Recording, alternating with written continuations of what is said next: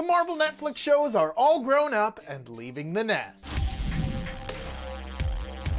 Welcome to Screen Rant News. I'm Ben Skipper. It was late 2018 when the Defenders faced a villain they couldn't defeat cancellation. As one by one, Daredevil, Luke Cage, Iron Fist, Jessica Jones, and The Punisher got the axe. And now, three years later, there's another punch to the gut for fans as all the Marvel Netflix shows are reportedly leaving the streaming service on March 1st. No! No! No!